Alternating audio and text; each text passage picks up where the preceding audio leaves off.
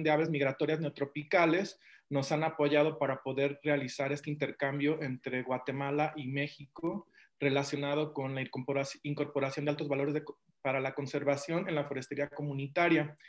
Eh, también quiero dar las gracias a la organización este, Defensores de la Naturaleza en Guatemala, que son ellos también quienes han estado apoyando la realización de este evento. Y todo esto les queremos compartir a todas, las personas que este, nos están siguiendo a través de las páginas de Facebook de cada una de estas organizaciones, de MOCAP, de Defensores, de Pronatura Sur, eh, que este evento eh, es se enmarca en lo que es la eh, Alianza Pino Encino para la conservación de los bosques de pino encino de México y Centroamérica.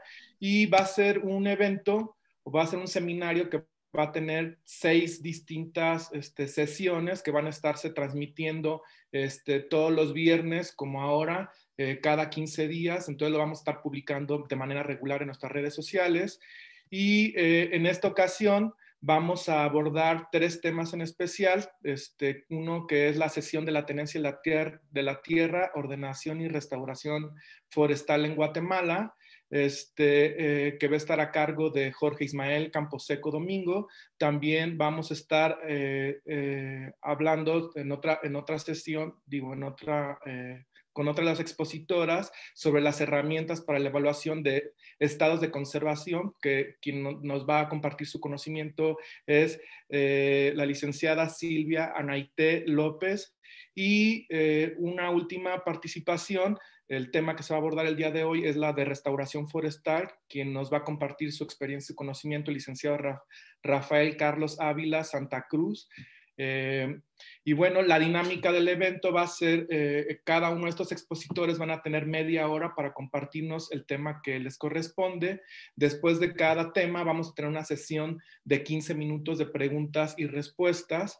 Eh, les queremos comentar que estamos dando preferencia al grupo núcleo de este evento, que son servidores públicos, tanto de INAP y de CONAP, de eh, Guatemala, pero también de otras organizaciones que forman la Alianza Pino Encino. Y eh, vamos a estar también atendiendo sus preguntas a, través de la página de Facebook de cada una de nuestras organizaciones, como les comentaba, Defensores de la Tierra, MOCAP, Pronatura. Y les pedimos a todas aquellas personas que nos están siguiendo a través de estas redes sociales eh, que nos puedan compartir también sus dudas y preguntas, pero les pedimos que nos las puedan hacer también por escrito y nos puedan dejar su dirección de correo electrónico para que en el caso de que no tengamos espacio para cumplir con estos 15 minutos de preguntas y respuestas y poder atender sus dudas, se las podamos también compartir a través de, correo electrónico.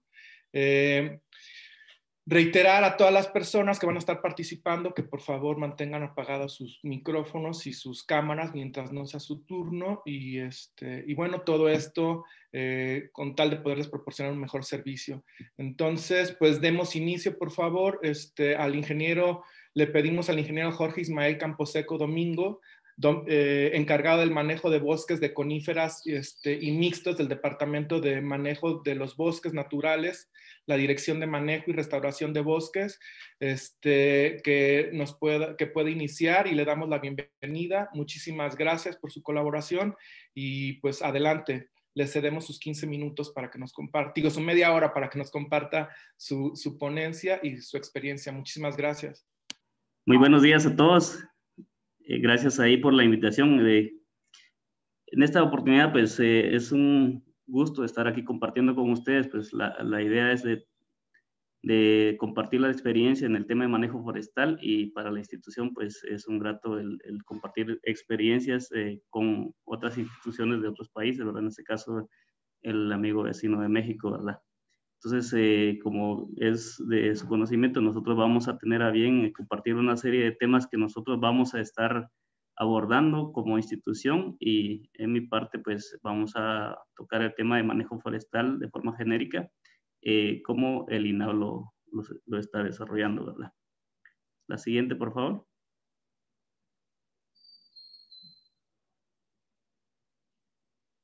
Bueno, entonces, eh, en primera instancia, pues quiero compartirles eh, de dónde nace o cómo surge el INAP. Pues el INAP surge a través del decreto 101-96, que es la ley forestal, la que rige el, el, mandato institucional o la, la, que orienta el tema del manejo forestal de la institución, ¿verdad? Que es acá donde se deriva el seguimiento y el quehacer de nuestra institución. Entonces dice que es una institución de servicio forestal creado mediante el decreto legislativo 101-96, eh, que es de carácter eh, estatal, es autónoma, descentralizada. Por favor. Y en este caso tiene su personalidad jurídica y patrimonio, patrimonio propio e, e independencia administrativa, ¿verdad? Entonces acá en este caso el INAVE es el ente encargado de la administración del recurso forestal fuera de las áreas protegidas. Por favor, el siguiente. Entonces, eh, basado en eso, pues el INAV eh, lo que hace es administrar, como ya les dije, el recurso forestal fuera de las áreas protegidas. Y en primera instancia, pues eh, se hacen estudios para ver cuál es el recurso forestal sobre el cual tenemos que orientar nuestro accionar, ¿verdad? Obviamente hay otra serie de acciones que, que como institución se, se, promueven, que es, por ejemplo, la restauración, la conservación y, y, uso adecuado de los suelos, ¿verdad? En este caso, se tiene basado en el estudio de la dinámica cobertura forestal 2010-2016, de que actualmente en ese estudio tenemos una cobertura de 3.574.244 hectáreas de bosques eh, como país, eh, que corresponden al 33.02% de la cobertura eh, nacional, ¿verdad? En este caso, si hablamos de esa tasa de de deforestación comparado con el año 2010, pues siempre tenemos un déficit de un 1.5% en ese, en ese periodo, ¿verdad? De este porcentaje, pues el, el 47.4% de la cobertura forestal es la que le compete al Instituto Nacional de Bosques administrar, ¿verdad? Y el resto, pues, eh, se encuentra dentro del sistema guatemalteco de áreas protegidas que la ve y la administra eh, CONAP, ¿verdad? La siguiente, por favor.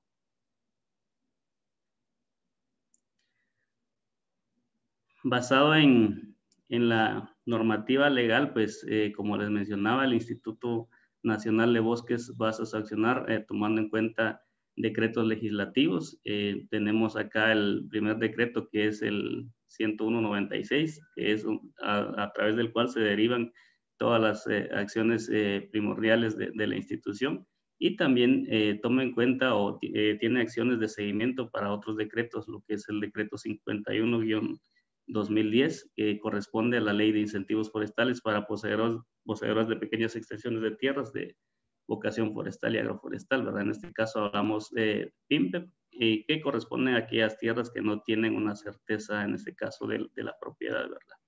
Por otro lado, pues tenemos el decreto 2, 2015 eh, que corresponde a la ley del, del, fomento al establecimiento, recuperación y restauración, producción y protección de los bosques de Guatemala, que es la ley pro bosques, que también corresponde a un tema de incentivos forestales, ¿verdad? Sin embargo, esta segunda ley, pues, eh, está enfocada a, aquellos, a aquellas personas que tienen certeza de la propiedad a través de un registro de propiedad.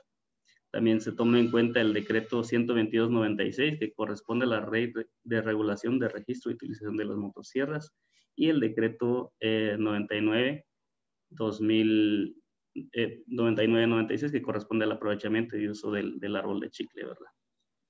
Por favor.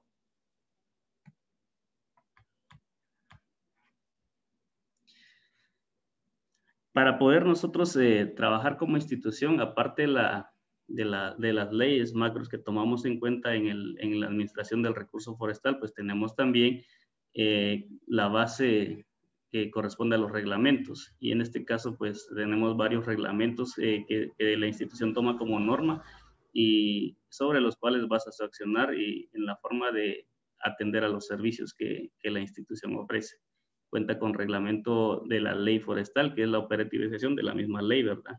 Tenemos un reglamento de incentivos forestales, eh, PIMPEP, que es, eh, corresponde a la ley PIMPEP, tenemos un reglamento para la aplicación de la, de la ley ProBosque, tenemos un reglamento de fiscalización de empresas forestales, reglamento de aprovechamiento forestal para consumos familiares, reglamento para el transporte de productos forestales, el reglamento de manejo de plantaciones, eh, plantaciones y áreas productoras de semillas de pinabete, ¿verdad?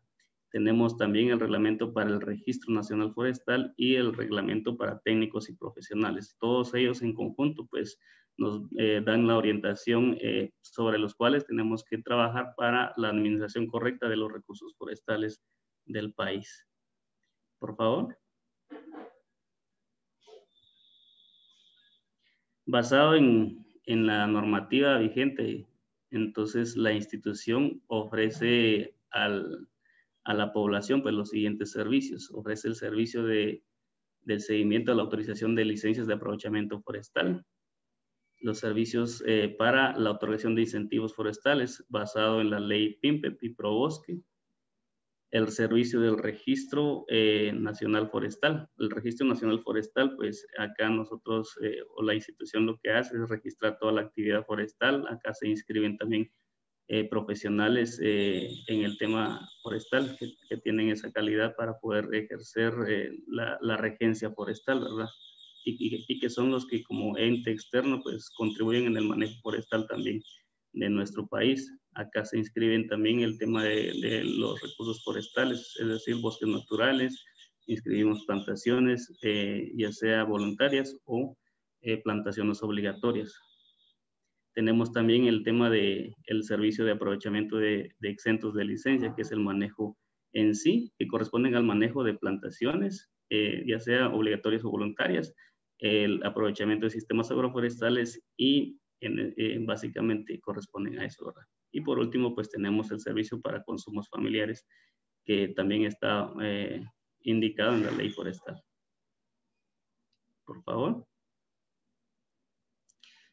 Entonces, para el servicio de licencias de aprovechamiento forestal, pues eh, como tal, la institución eh, tiene la, el servicio para ofrecer eh, y dar, en este caso, otorgar licencias a, toda persona. Igual la, licencia se otorga a personas propietarias o poseedores de bosque que, demuestren, en este caso, con un documento que ampara esa posesión o, tenencia, ¿verdad? Y o, en este caso también la propiedad a la cual se le va a otorgar esa licencia. Tenemos eh, varios tipos de licencias que, que reconoce a nivel institucional.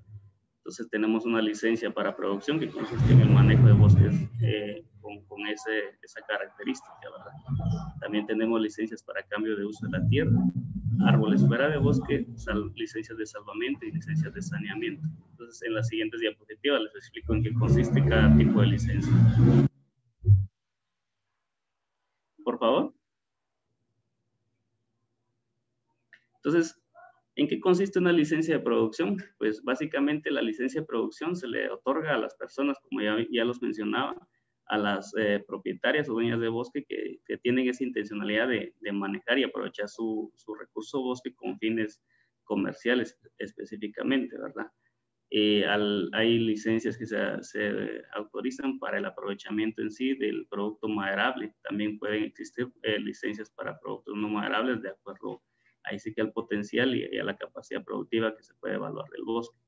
En este caso hablamos de eh, licencias de producción cuando corresponden a, cuerpos de bosque como tal, ¿verdad? Donde todavía se, se constituye como un componente de bosque y para ello pues hay, hay que evaluar la propuesta técnica que, en su momento veremos cómo se, se, plantea o cómo la institución procede a, autorizar. La siguiente, por favor. Tenemos también el otro tipo de licencia que corresponde a una licencia con fines de saneamiento. Y como eh, su nombre lo indica, el fin primordial de este tipo de licencias corresponde buscar eh, sanear el bosque es decir, cuando tenemos alguna incidencia de plagas o enfermedades forestales. Entonces también la institución como tal eh, promueve esa acción y se autoriza licencia para, para poder erradicar ese, ese daño causado a través de, la, de una plaga o, enfermedad eh, que afecte al bosque, ¿verdad? Para ello, pues hay que hacer un plan de manejo y cumplir con ciertos requisitos que como eh, ya lo he indicado, se basan en, la en la reglamentación y normativa vigente, así también el tema de alineamientos técnicos. Por favor.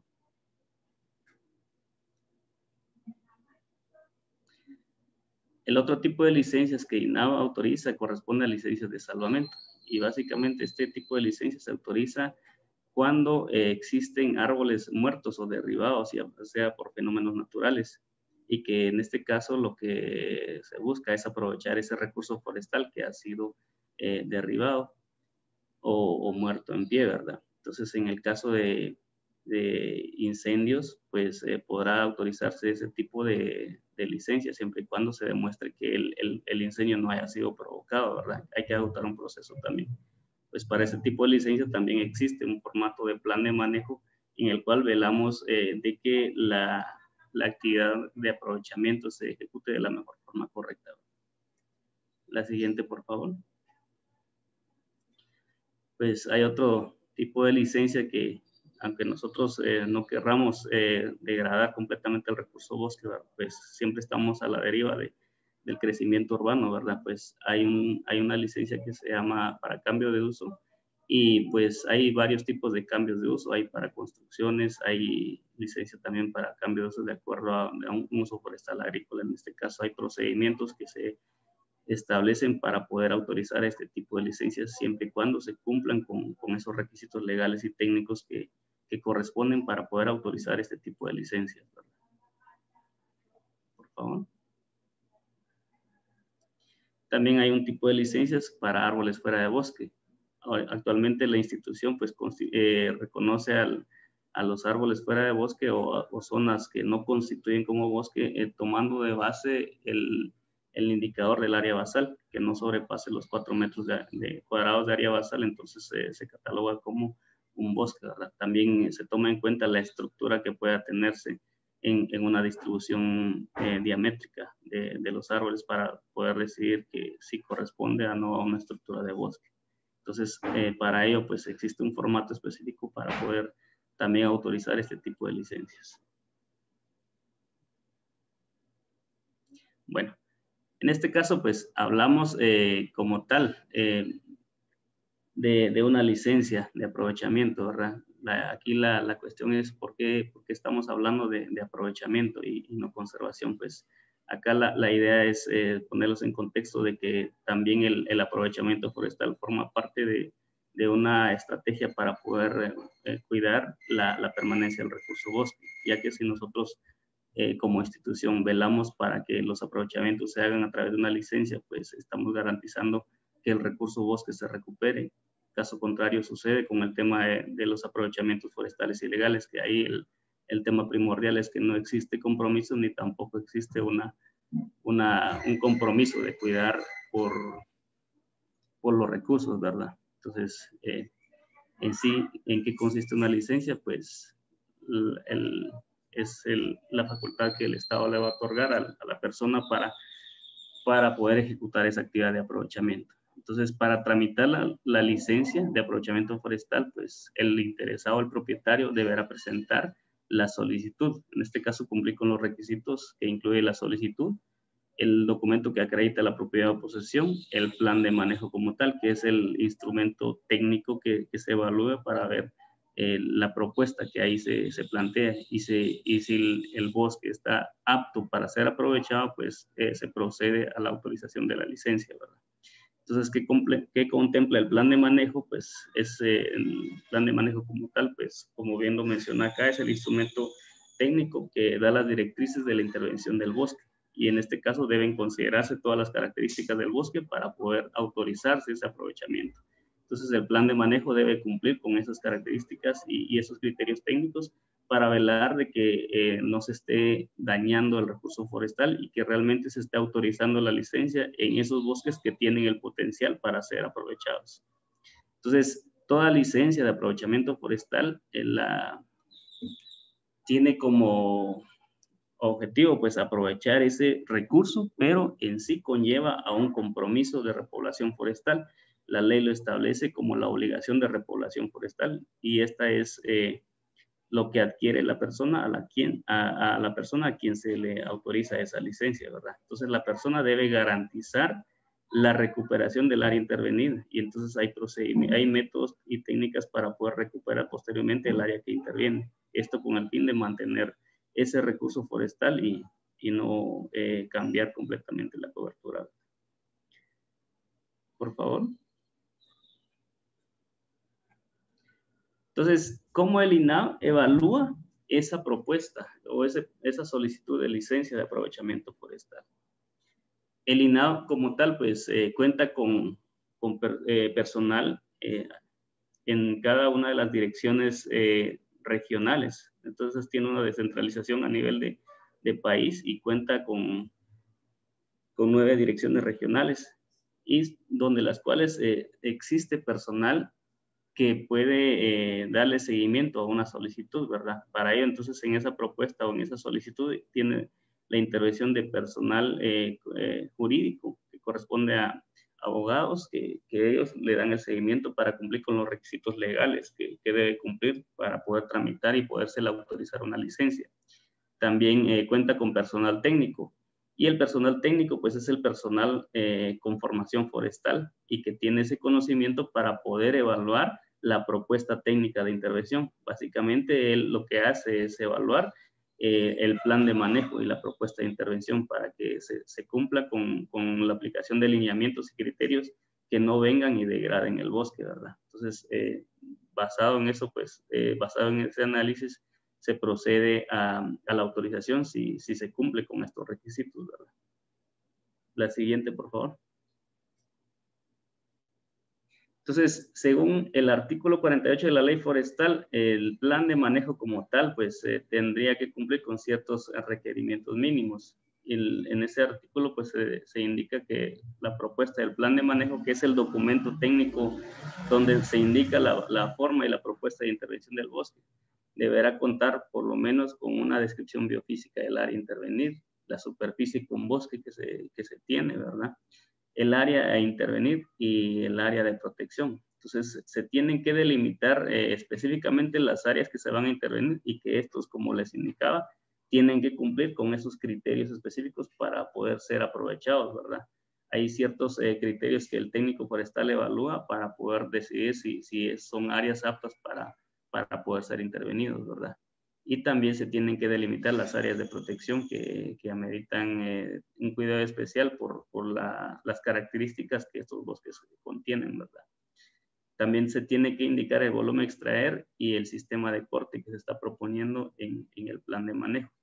Se indica el crecimiento anual de bosque y la posibilidad de corte en el plan de manejo se debe indicar específicamente la forma de recuperación. Se exige que, el, plan de manejo proponga el, método y la forma de recuperación del área intervenida, ¿verdad? Las medidas de prevención contra incendios y plagas forestales y el tiempo de ejecución que se constituye en un cronograma de actividades para evaluar el cumplimiento de las acciones que se están planteando en ese plan de manejo. La siguiente, por favor. Entonces, eh, para evaluar esa propuesta de plan de manejo, como les indicaba, aparte de la, del análisis eh, legal que se hace por parte del personal jurídico, lo que se hace es evaluar la propuesta técnica. Y para ello, como les indicaba, pues existe personal técnico que es el responsable de evaluar esa propuesta eh, técnica que está plasmada en ese documento de plan de manejo que, que se presenta y entonces eh, se deben cumplir con, la, con lineamientos específicos para poderse, poderse autorizar la licencia que están solicitando. Este documento de lineamientos pues es, es un instrumento creado eh, por la institución con la finalidad de, de homogenizar y, de homologar los criterios que, cada, que, cada personal tiene en, en todas las regiones, es decir, manejar los mismos criterios para la autorización y en esencia, pues es un, se constituye como un documento eh, técnico de orientación al, al personal técnico para, para, tomar, para la toma de decisiones en la autorización de, de, una licencia para evaluar esa propuesta técnica. En este documento, pues existen lineamientos técnicos específicos para evaluar planes de manejo que vienen eh, con la intencionalidad de aprovechar bosques eh, con fines de producción, es decir, para bosques coníferos y mixtos y latifoliados como tal, que también son, son bosques, eh, bueno, los bosques coníferos y mixtos, pues eh, el manejo es diferente que un bosque como tal para latifoliados, ¿verdad? También vienen los lineamientos para evaluar una propuesta de aprovechamiento para árboles fuera de bosque. Eh, también contiene los lineamientos para evaluar propuestas de saneamiento y planes sanitarios. tiene lineamientos para evaluar propuestas de, de planes con fines de salvamento, ¿verdad? Y las propuestas técnicas para evaluar planes eh, con, fines de cambio de uso. Por favor.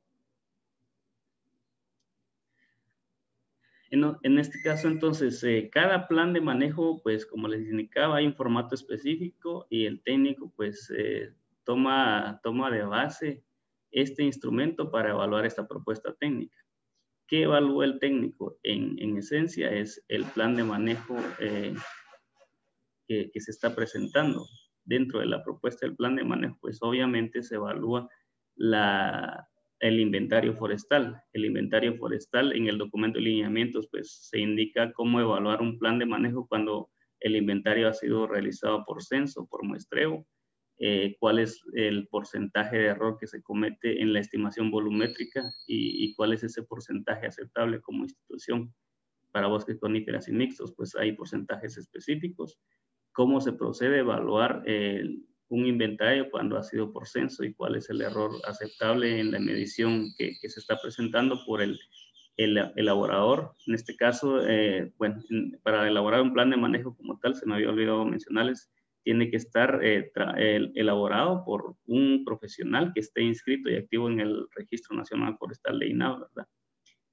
Y para ello, pues, eh, los datos de, esta persona que presenta en el plan de manejo tienen que coincidir con la verificación que hace el técnico forestal. Entonces, acá en, este documento, pues, se plantean esos insumos o esos elementos de comparación para poder validar esa propuesta técnica, ¿verdad?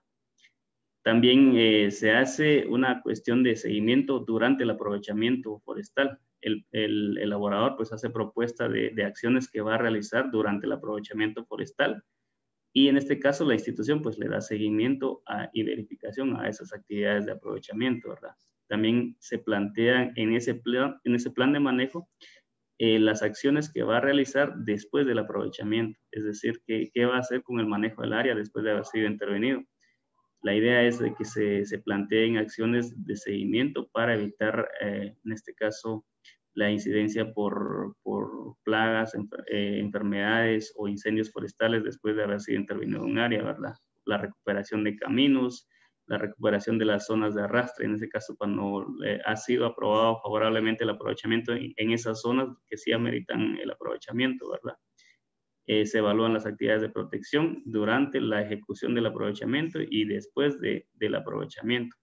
En este caso, el seguimiento eh, se, da por parte de la institución. Hay un monitoreo de la ejecución, durante la ejecución, después de la ejecución, y eh, estamos en el seguimiento al, cumplimiento de los compromisos o el compromiso de repoblación forestal que, se había mencionado, ¿verdad? Que, en esencia, pues, se tiene que garantizar la recuperación del área intervenida. Entonces, como tal, eso es lo que contiene este documento técnico que, estamos eh, mencionando que corresponde a los lineamientos técnicos de manejo. Por favor. Entonces acá hay un mensaje, todos los seres humanos aprovechamos los bienes y servicios del bosque, tanto hombres y mujeres, pues necesitamos, eh, eh, tenemos necesidades básicas y utilizamos en esencia los recursos naturales. La clave acá es aprovecharlos de una forma racional y sostenible para evitar que, que estos recursos se, se, vayan a acabar, ¿verdad? Entonces, para ello, pues la mejor forma es eh, eh, que nosotros hagamos este aprovechamiento atendiendo al manejo forestal, ¿verdad? Entonces la pregunta acá es cómo podemos aprovecharlo sin reducir sus características ni su productividad futura. Entonces la respuesta está en, en, este, en esta diapositiva, que es a través del manejo forestal, ¿verdad?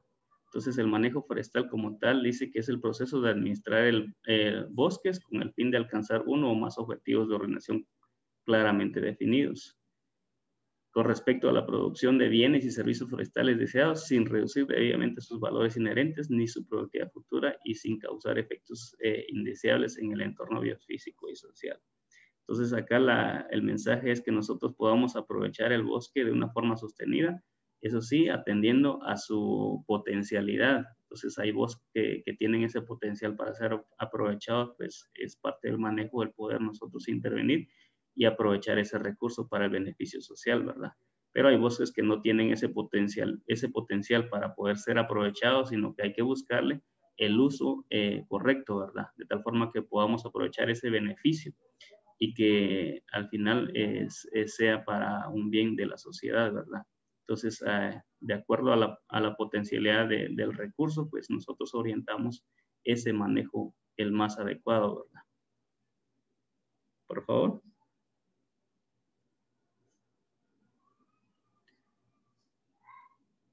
En esta lámina, entonces, eh, cuando la, potencialidad ha sido identificada, que, que, podemos nosotros intervenir el bosque, entonces tenemos que tomar en cuenta que para el manejo tenemos que incluir la planificación. En la planificación nosotros incluimos la ordenación, ¿verdad? La ordenación es en, en este sentido, pues eh, tomar en cuenta lo que es para aprovechamiento, lo que es para protección y lo que es para otro tipo de, de actividades, ¿verdad? La restauración, ¿verdad? Entonces, ya planificado la, eh, el manejo del bosque, pues procedemos a la ejecución, que es poner en marcha lo que hemos planificado. Entonces, para, para ejecutar, pues hay que tomar en cuenta todos los principios que se han plasmado en ese plan de manejo. Luego tenemos el cumplimiento del compromiso de, de en aquellas zonas donde hemos intervenido o hemos aprovechado, pues hay que recuperar como bien lo, mencionamos acá, pues eh, hay ciertas aristas eh, que, que toma en cuenta la institución y, cierta, eh, basado en el mandato, pues es, es, hacer productivas las áreas, recuperar áreas, manejar áreas que, que, que ameritan su protección, ¿verdad? Para eso, pues tenemos la participación también de los compañeros, de qué forma ellos nos van a compartir la experiencia, cómo la institución promueve el manejo de estas áreas de acuerdo a su potencial, ¿verdad? Entonces, dentro de este tema de, del aprovechamiento y manejo forestal, hay un eje transversal que es eh, la protección como tal, ¿verdad? Eso se, se va implícita desde la planificación, desde la ejecución y desde la recuperación del área. Y en esencia, pues tenemos que cumplir con, esta, con, esta, con este eje en todo el proceso, ya que nosotros lo que queremos es garantizar un flujo y que a la, en el contexto de la aplicación de los lineamientos técnicos, nosotros eh, cumplamos con, con, mantener esa perpetuidad del recurso forestal. ¿verdad? Entonces, basado en eso, si nosotros aplicamos esos, ese procedimiento y, el ciclo correcto de manejo, pues estamos garantizando que, que siempre tengamos disponibilidad a futuro eh, del recurso forestal. Recordemos que nosotros en, la casa pues contamos con, muebles y esos muebles pues obviamente se derivan del uso del, árbol, ¿verdad? Lo que nosotros tenemos que velar es de que ese mueble no haya venido de un aprovechamiento que haya sido de forma ilegal, porque en ese contexto sí estamos, eh, no estamos asegurando lo que es eh, la recuperación del recurso forestal. Por favor. Entonces, toda licencia conlleva a una obligación de repoblación forestal, lo que yo les mencionaba. Entonces, cuando se le autoriza licencia a una persona, pues él adquiere ese compromiso de recuperar nuevamente el área. Entonces, con este, eh, de esta forma, nosotros garantizamos de que el recurso bosque se mantenga y que siempre esté a disponibilidad eh, para las generaciones, ¿verdad? Cada tipo de bosque pues aplica un tratamiento, un manejo distinto, ¿verdad? No es lo mismo manejar un bosque conífera o un bosque mixto con un bosque de latifoliados, ¿verdad? Entonces, eh, de acuerdo al tipo de bosque, pues eh, la institución ve la aplicación correcta de los lineamientos y que esa licencia y esa propuesta de manejo esté acorde al tipo de bosque, ¿verdad? Pero en esencia sí se, se vela este apartado de, de la recuperación y el manejo de, del área intervenida para mantener esa perpetuidad del recurso forestal. La siguiente, por favor.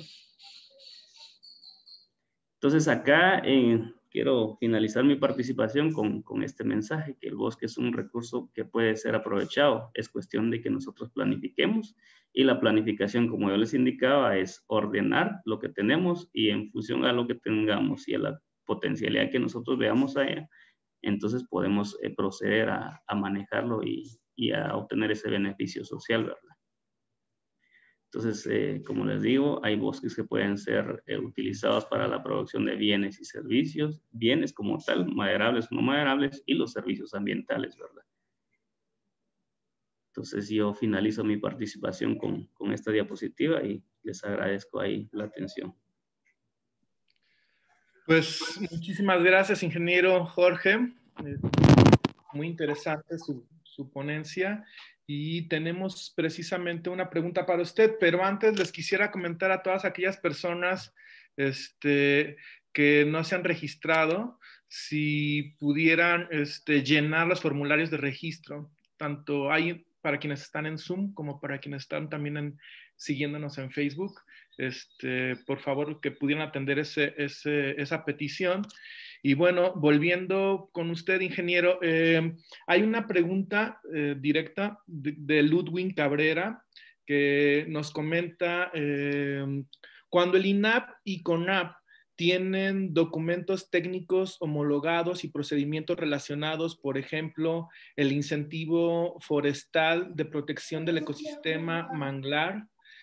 Predominan los lineamientos, eh, predominan los lineamientos técnicos homologados, los lineamientos propios del INAP o los, de CONAP. Sí, como les mencionaba, pues eh, el INAB lo que, eh, lo que se encarga es administrar el recurso forestal fuera de las áreas protegidas. Entonces, en el tema de incentivos forestales, lo que pide INAB para poder eh, optar a los incentivos es de, que se tenga un, aval de la institución de CONAP, ya que en este caso el, el, el, tema de incentivos forestales no está vedado solo para el tema de fuera de las áreas protegidas, ¿verdad? sino que también pueden incluirse en algunas áreas, eh, áreas eh, que están dentro del, contexto del SIGAP, o, es decir, las áreas que administra CONAP. Lo único que se pide acá como institución para el tema de incentivos es contar con, con ese aval que, que CONAP eh, vaya a proveer, ¿verdad? Y posteriormente, pues ya la ya INAV otorga los incentivos. En el tema del manejo forestal como tal, INAV no puede autorizar una licencia que esté dentro de áreas protegidas. Cuando se trabaje una licencia y que la intencionalidad es manejar un bosque dentro de áreas protegidas, y INAP no los autoriza, sino que el, ente ahí rector sería CONAP. Entonces ellos trabajarían ahí con CONAP y no con nosotros. Muy bien, muchísimas gracias. Este, creo que eh, hay otra pregunta, Pedro Tavares, pero todavía no nos pone la pregunta. Eh, si no, a ver, ah, ya, ahora sí. ¿Cómo ha funcionado la aplicación del aprovechamiento de árboles fuera del bosque?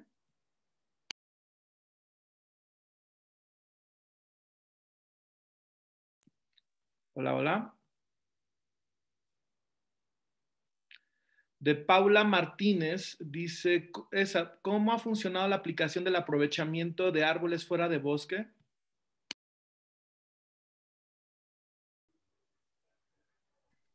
Ok, creo que tenemos Quiero algún, pasemos a la siguiente presentación. algún problema. Está hay otra pregunta, de, es la de Pedro Tavares. Cuando realizan el establecimiento de un nuevo bosque, ¿puede ser otra especie que no sea la que se aprovechó? O sea, si se cortó pino, ¿es obligatorio este, plantar pino? Entonces, eh, pasaremos para eh, atender la siguiente ponencia que estará a cargo de este, Silvia Anaité López Alquijay, jefa de conservación de ecosistemas forestales estratégicos, Departamento de Conservación de Ecosistemas Forestales Estratégicos.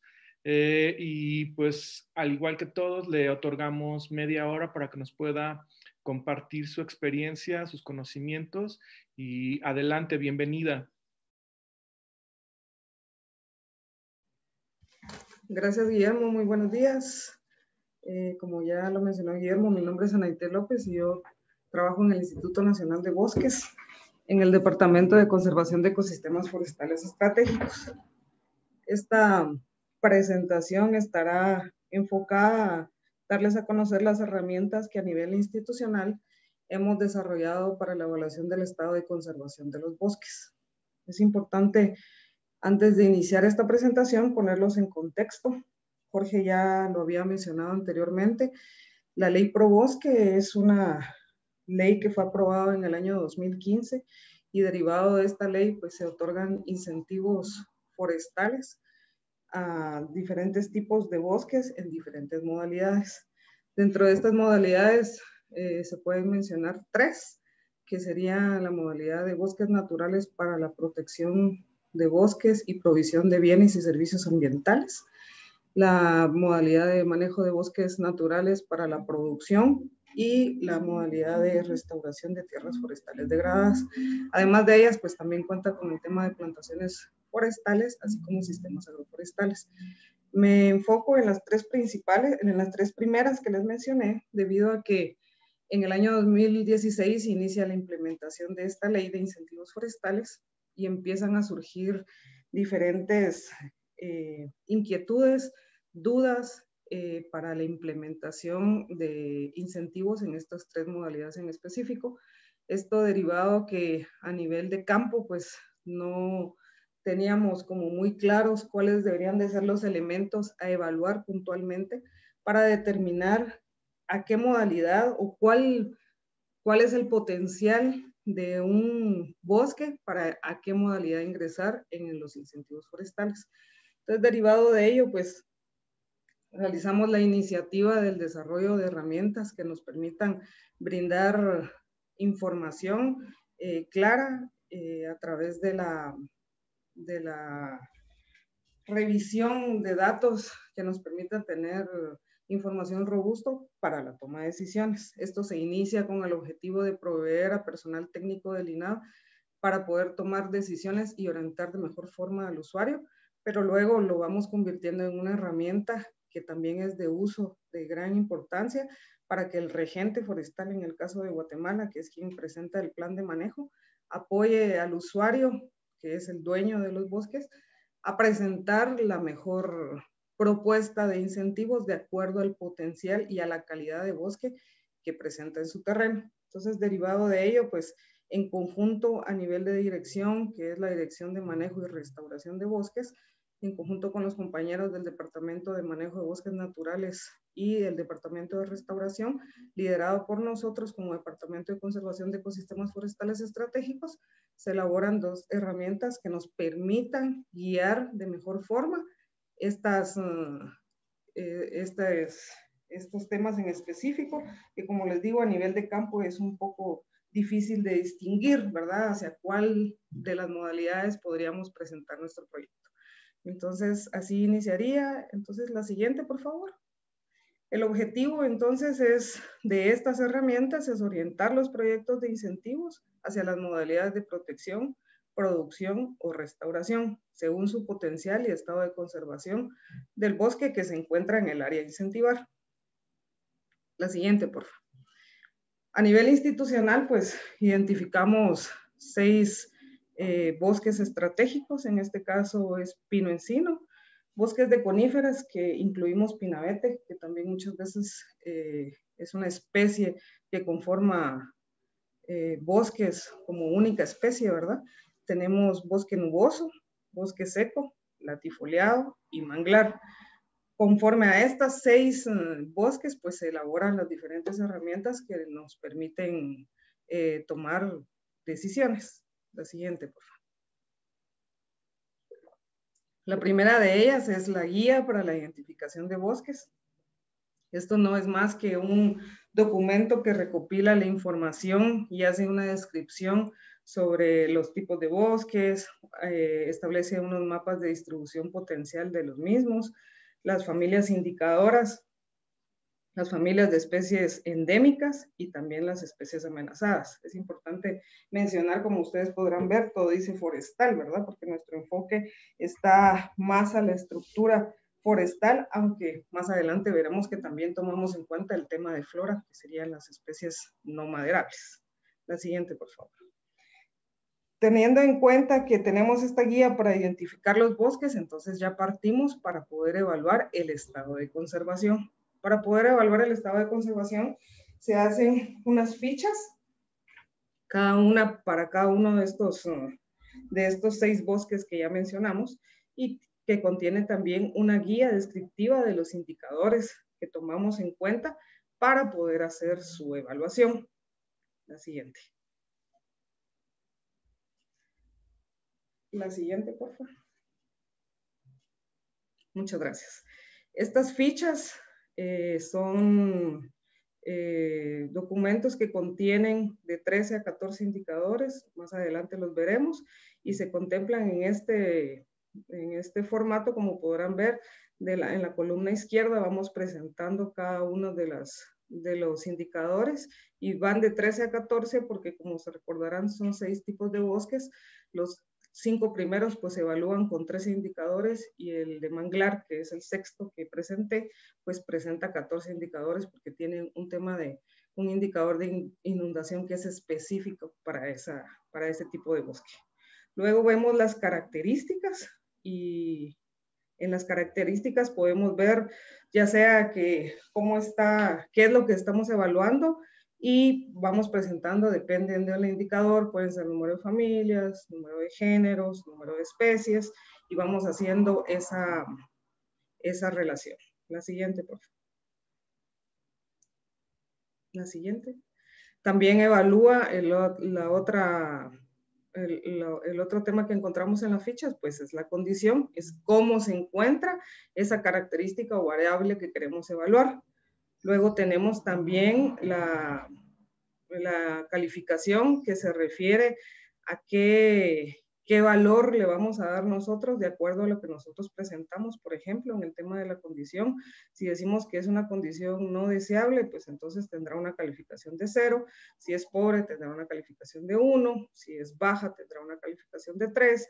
Si es buena o muy buena, tendrá cuatro o cinco, dependiendo eh, las variables que estemos evaluando. La siguiente.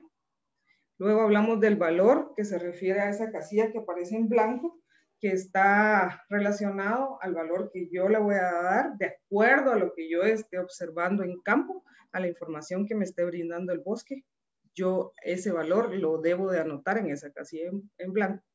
Y por último, entonces hablaríamos del valor más alto. Esto se refiere al último número que podrán observar acá del lado derecho, donde nos dice que de todo, digamos, el valor más alto que podría tener cada uno de los indicadores es 5. Solo en el caso de la fauna es 6 y ya veremos por qué sucede esto. Entonces aquí esta ficha es la, que la herramienta que nosotros vamos a utilizar para poder hacer nuestra toma de datos y luego que nos brinde información para poder tomar decisiones. La siguiente, por favor. Sobre los indicadores de la ficha, como les mencioné, pues son 14 en total, solo que el número 14 es específicamente para manglares, el resto lo toman también manglares y los demás uh, tipos de bosque y nos vamos a referir a cada uno de ellos. Ustedes ya conocen del tema, así que solo es un recordatorio y ponerlos en contexto cómo es que nosotros a nivel de INAV lo estamos proponiendo de cómo manejarlo en estas fichas. Pues la regeneración natural se refiere al reemplazo de de una especie, digamos, en, por, puede ser por la misma o por otra especie y que nos da de cierta manera información de cuánto puede un bosque estarse regenerando por sí solo o si no hay regeneración, cuál es el problema que podría tener, ¿verdad? Nos podría dar indicios de qué es lo que está sucediendo en el área. El tema de familias indicadoras se refiere a ver cuántas familias, de acuerdo a nuestro inventario forestal, cuántas familias de especies forestales realmente son indicadoras de un tipo de bosque en particular. Por ejemplo, eh, me voy a referir a, a temas de bosque nuboso. En bosque nuboso podríamos encontrar especies que son indicadoras que nos pueden decir que sí el bosque está en un estado en un buen estado de conservación. Si encontramos especies como eh, perdón, como las familias de, de las fagaces, encontramos especies también de las familias de la especie del aguacatillo, por ejemplo, aquí en Guatemala, que ahorita se me va el nombre, perdón. Y de acuerdo a eso, pues podemos decir que de acuerdo al número de especies que encontremos indicadoras, nosotros podemos decir darle un valor que nos, eh, que nos permita eh, entender en qué estado de conservación se encuentra el bosque. Estos mm, números de familias indicadoras pues se encuentran en la guía de identificación de los bosques, ya que se hizo un esfuerzo bastante grande de hacer una recopilación bibliográfica y validación con expertos en, los diferentes tipos de bosques, ya sea a nivel de academia e investigadores, para poder tener eh, cuál sería el número como máximo de especies indicadoras que podría tener cada uno de estos tipos de bosques y de acuerdo a eso pues se le dio un valor eh, a cada una de ellas, ¿verdad? Entonces, cuando yo tenga mis resultados, voy a la guía, veo cuántas familias me dice que tienen, conforme a eso yo lleno mi, mi ficha para poder tener un resultado. El número tres, que es referente a la abundancia relativa de familias indicadoras, está relacionada con de todas las familias que yo encuentre en el sitio que estoy muestreando, pues entonces voy a encontrar que no todas esas, no todas las especies y las familias que se presentan van a ser indicadoras del ecosistema. Entonces debo de hacer una relación para poder determinar entre las que son indicadoras y las que no son indicadoras, cuánto representa el 100% de las, de las familias que son indicadoras a una relación entre ellas y ya puedo hacer un cálculo para poder determinar, determinar perdón, cuál es el porcentaje o de esa abundancia relativa que representan estas familias a nivel del sitio. Las especies amenazadas pues están relacionadas con qué tanto eh, la especie está en vías de extinción, ¿verdad? Qué tan fácil o no es encontrarla en los diferentes tipos de bosque y nos pareció una buena herramienta para poder utilizar porque el objetivo de esto es determinar eh, los valores de conservación que hay en, los bosques y poder de cierta manera eh, potenciar la protección de sitios donde encontramos especies amenazadas. En el caso de, estas herramientas, pues las ah, listas o los, los listados oficiales que utilizamos para ello es la lista roja de UICN y la lista de CITES. Esas son las dos que tomamos en cuenta para poder evaluar estas especies amenazadas. Con el tema de cobertura forestal, se trata de qué tanto ocupan las copas de los árboles dentro del proyecto y puede hacerse de forma visual eh, en campo para poder evaluar porcentajes que ocupan, eh, que ocupa la cobertura dentro del área total del bosque. Luego también eh, nos referimos a condiciones del entorno. Esto es algo bastante importante que evaluamos de que puede ser, debería de ser tomado como un indicador debido a que evalúa qué tan degradadas están las áreas fuera del área que nosotros estamos tratando de ingresar a los incentivos. Esto nos da un indicio de la conectividad que el proyecto que nosotros queremos presentar tiene o no o no tiene, ¿verdad? O sea, puede ser que alrededor, cuando hablemos de condiciones del entorno, se evalúa si hay bosques eh, alrededor del área que yo quiero presentar como proyecto, o si hay potreros, o si hay viviendas, porque entonces eso también nos da indicios de qué posibilidades o qué probabilidad de permanencia tiene este bosque en, en el tiempo, ¿verdad? También hablamos de, en el indicador 7, hablamos de extracción de leña y se refiere principalmente a qué tanto vemos nosotros cuando hacemos, hacemos la visita en campo, que hay evidencia que extracción de leña, de madera, en el tema de, las, de los bosques de coníferas como de pino encino, también vemos si hay extracción de ramillas, resinas, o hay ocoteo de los árboles, porque eso nos puede dar indicios de qué nivel de, de, conservación o degradación pueda tener el área, o qué tan vulnerable está a estas actividades ilícitas.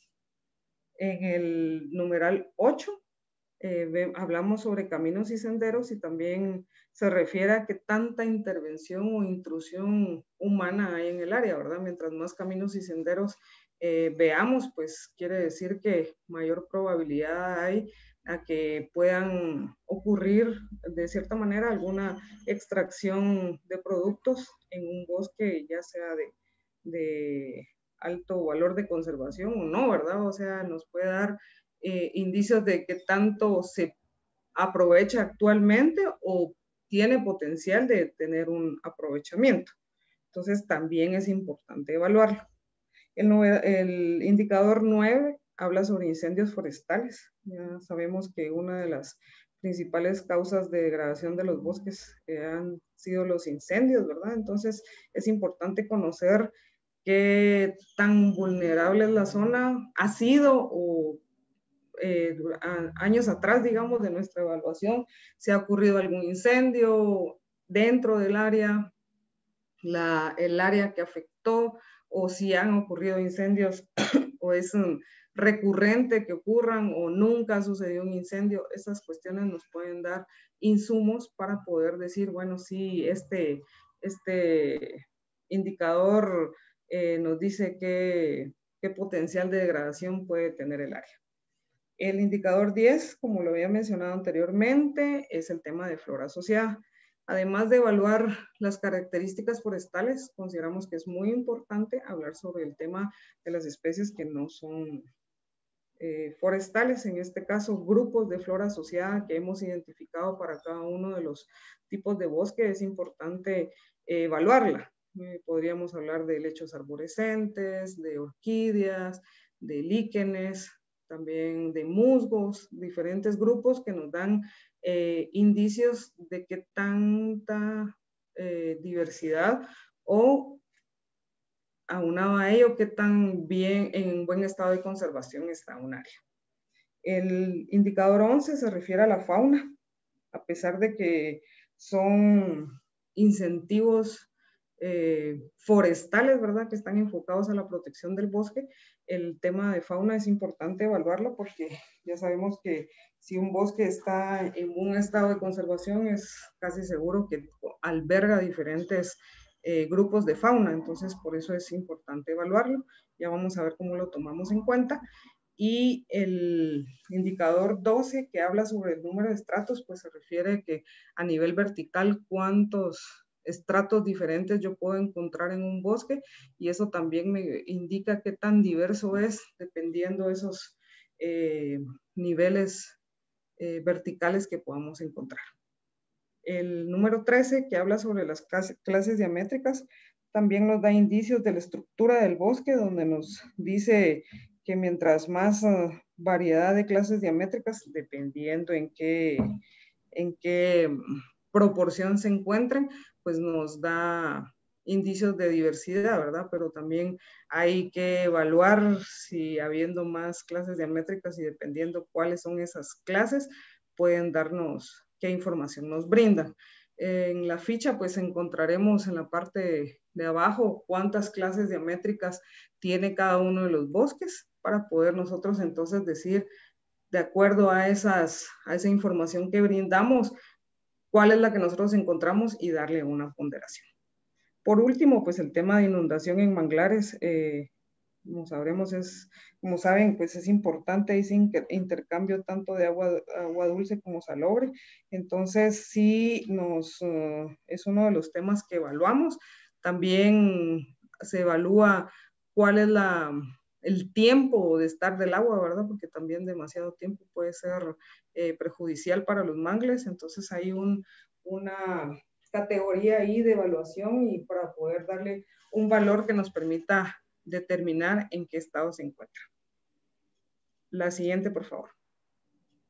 Entonces, ya teniendo eh, un poco claro qué es la guía, eh, que, que, tenemos la guía, tenemos la ficha, entonces conocemos cuáles son los indicadores, ahora explicarles cuál es la, cuál es la ruta como para uso de esta, de esta ficha. Principal, lo primero que debemos de hacer pues es identificar el bosque para nosotros poder elegir, la primera, la, la ficha que vamos a utilizar para evaluar este tipo de bosque. Luego se hace un inventario forestal, que es un, paso que se da siempre para poder hacer un plan de manejo y para poder presentar e ingresar al programa de incentivos forestales. Entonces no estamos pidiendo un paso más, sino al contrario, solo estamos tratando de incluir este instrumento dentro del trabajo que ya se realiza para la presentación de planes de manejo para los programas de incentivos. La siguiente, por favor. Cuando se está haciendo el inventario forestal, pues se deben de observar y anotar ciertos indicadores. De la ficha, de los indicadores que hablamos anteriormente, pues solo cinco indicadores se evalúan después de campo. Los otros nueve u ocho, dependiendo del caso del tipo de bosque que sea, se evalúa directamente en el bosque, en el lugar, se pueden anotar de una vez datos e ir llenando la ficha. La siguiente. Luego, pues ya estando en escritorio, hacemos el ejercicio de agregar los resultados que no, que obtengo con el inventario y debo de, debo de agregar a la ficha, que serían el tema de las familias indicadoras, porque eso posiblemente no lo voy a ver directamente en el campo, voy a tomar mis datos, luego hago mis análisis, entonces voy a agregar e, eso, voy a ver el tema de, de lo de las clases diamétricas, porque ya cuando tengo mis resultados de inventarios y otros tres más que están ahí presentes, entonces Luego de hacer ese inventario, de hacer mi análisis del inventario con esos resultados que obtengo, termino de llenar la ficha. La siguiente, por favor. Entonces ya con esos datos que tengo eh, anotados, que obtuve en campo y en escritorio, los introduzco a una hoja Excel que hemos nosotros automatizado para poder hacer entonces el cálculo de qué resultado voy a obtener. La siguiente, por favor. Entonces ya con ese resultado, pues entonces yo ya puedo hacer un análisis de acuerdo a, a cuál es el estado de conservación del bosque que yo evalué. La siguiente, por favor. Entonces, este cálculo de resultados, como le mencionaba, está en una hoja de cálculo de Excel. Y aquí podemos ver los indicadores en la primera columna. Luego vemos el valor de importancia del indicador, la valoración ponderada, la valoración de campo y nos da un resultado que es el estado de conservación. Eh, la siguiente, por favor. Aquí podemos ver que en esta valoración de campo van los datos que yo fui a tomar a campo y que me salieron de resultado de mi inventario forestal. Luego, la siguiente, lo que, lo que obtengo entonces luego de esta de este análisis y de este ingreso de información, pues es un resultado que, que me indica en qué estado de conservación se encuentra el bosque. Es importante mencionar que este estado de conservación está definido por la valoración ponderada, que en este caso está en la tercera columna, multiplicada por la valoración de campo, que sería la que yo obtuve, dividida la valoración máxima de la variable. Como ya habíamos hablado de esa valoración máxima, pues es de 5, solo en el caso de, fauna, pues entonces sería 6. Entonces, de acuerdo a esos datos, pues me brinda este resultado. Ya teniendo este resultado, yo puedo definir en qué estado de conservación está y hacia qué modalidad de estos incentivos yo podría aplicar. La siguiente, por favor. En este caso, pues entonces tendríamos tres resultados, lo hemos agrupado de esa forma y hemos obtenido eh, rangos para que nos den una, categoría, ¿verdad? O estado de, de conservación. Tenemos el estado de conservación bueno, regular y malo. Y de acuerdo al porcentaje que obtenemos, pues podría ser de 70.91 a 100, que sería el estado de conservación bueno el regular que iría de 25.91 a 70.90 y por último pues tendríamos el de 0 a 25.90. Luego tenemos una recomendación que de acuerdo al porcentaje que obtengamos de nuestra evaluación, pues entonces podríamos definir cuál es el potencial de ese bosque que yo estoy evaluando y a qué modalidad podría aplicar. En el caso del el estado de conservación, bueno, pues podría aplicar a dos modalidades, que sería el manejo de bosque natural con fines de protección, porque sabemos que tiene un, está en un buen estado de, protección o de conservación, ¿verdad? Por lo cual consideramos que es importante protegerlo. Y el manejo de bosques naturales con fines de producción, porque teniendo eh, valores parecidos al de buena conservación, puede ser que tenga especies que sean de alto valor económico y que cumpla con otros criterios que también le pueden eh, hacer apto para poder ser aprovechado. En el segundo sería, perdón, en el segundo sería el estado regular, que se refiere a bosques que van de 25.91 a 70.90 en porcentajes y en resultados de evaluación y podrían ser para las modalidades de bosques naturales con fines de protección. Perdón, ahí es con fines de producción, me equivoqué, mil disculpas. Copié lo mismo, creo yo, pero ahí es bosques naturales con fines de producción y restauración de tierras forestales degradadas, perdón. Entonces ahí, ¿qué es lo que sucede? Ya vemos que sí hay eh, ¿cómo decirlo? Hay ciertas señales de degradación del bosque y entonces no podrían estar enfocados a la, a la protección, ¿verdad? Sino deberían aprovecharse si cumple ciertas variables que ya las vamos a ver o restaurarse. Y por último, el último estado de, de conservación que sería el malo, pues aplicaría únicamente la restauración de tierras forestales degradadas porque no tendría potencial para ser aprovechado, sino únicamente restaurarlo. La siguiente, por favor. Como les decía, aquí pues ya teniendo en cuenta que en el estado bueno y en el regular tenemos dos opciones de, de modalidades a las cuales podrían ingresar y me disculpo porque volví a cometer el mismo error, pero en el primero sería bosques naturales con fines de protección y en eh, la modalidad de bosque natural con fines de producción. Esto va, va a poder evaluarse de acuerdo si tiene especies forestales que sean de valor económico y de importancia para el aprovechamiento, pues entonces deberíamos de evaluar el tema de pendientes, que sean menores o iguales al 55% y que la pedrosidad no sea limitante para este aprovechamiento. Y en este caso en particular, pues mencionamos a la especie de pinabete, que es una especie protegida a nivel natural y aunque tenga, digamos, potencial para aprovecharse, pues no se permite su aprovechamiento. Así que esta especie, aunque tenga un valor menor de 70, puede ingresarse a proyectos en la modalidad de protección. En el segundo caso, que es en el estado regular, que como les mencioné anteriormente, realmente aplicaría para la modalidad de bosque natural con fines de producción y a la modalidad de, de, restauración de tierras forestales degradadas, pues también debería de cumplir con ciertos criterios para poder diferenciar entre ambas de acuerdo al potencial, además de lo que ya evaluamos, pero también sería importante, es importante que se evalúe la presencia de especies de interés comercial, el área basal, que sea mayor o igual al umbral mínimo establecido para cada tipo de bosques, que ya se han realizado estudios para poder tener un dato específico para ello, la pendiente, como lo mencionamos anteriormente, y en este caso también se toma en cuenta la profundidad efectiva del suelo. La siguiente, por favor.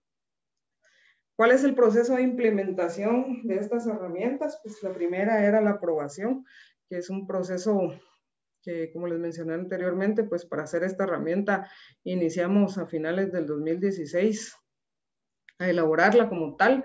Luego hemos tenido 2017 en un proceso de validación con expertos y hemos iniciado las pruebas en campo, la validación en campo de lo que estamos planteando en la ficha desde el año 2018 a la fecha. Ya después de varios eh, procesos de, de, elaboración del manual de, lineamientos técnicos perdón, de Probosque, pues está incluido dentro de él y en el, en el mes de diciembre pues se dio la aprobación del nuevo manual de lineamientos de Probosque porque había uno que había que estaba en vigencia desde el 2015 a la fecha y ahora ya se actualizó y esta actualización contiene ya estas herramientas, así que ya eh, deben de empezar a utilizarse. El tema de socialización, que es en el paso que nos encontramos ahora, que estamos proponiendo una socialización a nivel eh, interno de INAV, que sería con todo el personal técnico de las direcciones regionales, que quienes son quienes eh, verifican en campo el cumplimiento de estos planes de manejo y, eh, y la verificación de estos datos. También hemos considerado la socialización con regentes forestales, quienes deben de presentar también de ahora en adelante esta ficha como requisito para ingresar a los incentivos, si es que están eh, proponiendo ingresar en las tres modalidades que mencioné. Y por último, pues consideramos la etapa de monitoreo y evaluación, porque sabemos que estas herramientas no son perfectas, ¿verdad? Y que consideramos que siempre es importante estarla evaluando, validando en campo, viendo qué resultados obtenemos y de ser necesario, pues hacer los ajustes que se consideren necesarios para ir teniendo herramientas que realmente sean de utilidad para la institución. La siguiente, por favor. Yo con eso finalizo. Muchas gracias por su atención y quedo a la espera de alguna pregunta si lo hubiera. Muchísimas gracias, licenciada. Muy completa la presentación, en verdad. Eh, sí tenemos preguntas. Eh, tenemos eh, dos preguntas, creo. Eh, pero también queremos antes de eso compartir que ya nos están mandando saludos de algunas de nuestras páginas de Facebook. De, de, acá de Chiapas, Chiapas, del gobierno del estado, el ingeniero Yocundo Coutinho y la ingeniera Marta Cecilia Zavala nos mandan saludos. Este, y bueno, también de Donald Mérida desde Guatemala, y pues la verdad es que nos da mucho gusto que, que nos estén siguiendo. A ver, este, la primera pregunta que nos hacen es del grupo y nos dicen, eh, estos indicadores que nos estabas compartiendo, ¿para qué tipos de bosques son? Es la primera pregunta. Gracias. Eh, para seis tipos de bosque, que serían bosque seco, bosque nuboso, manglar, coníferas, latifoleado y pino encino. Cada uno tiene una ficha en particular y los indicadores para cada uno de ellos tienen diferentes ponderaciones. Por eso son seis fichas las que, las que elaboramos y a pesar de que tengan los mismos indicadores, cada uno tiene ponderaciones diferentes. Excelente, muchísimas gracias. Otra pregunta más, esta viene de acá de Chiapas, del gobierno del estado, de específicamente de Alberto Vargas, eh, de la Secretaría Forestal, y nos dice, este, en el tema de valoración de los indicadores, al obtenerse de forma visual, se vuelve un valor subjetivo para el observador. Comenta él. La pregunta es, ¿existen valores de referencia para determinar el valor del indicador?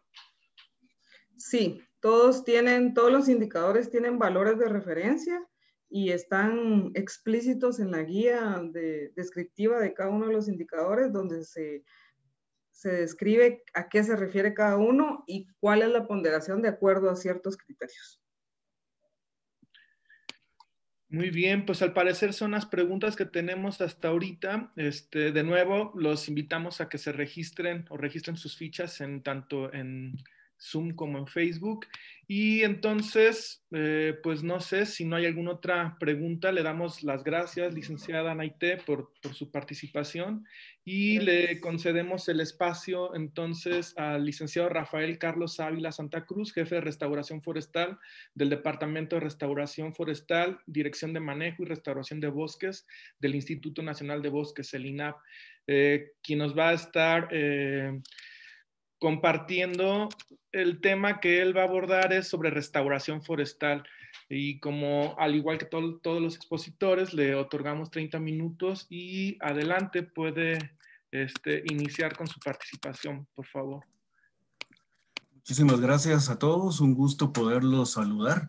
Agradecemos el espacio también por permitirnos compartir con ustedes el trabajo que estamos realizando en cuanto a la temática de restauración eh, forestal en Guatemala. Me permití encender la cámara solo unos minutitos para saludarlos y que puedan ubicarme.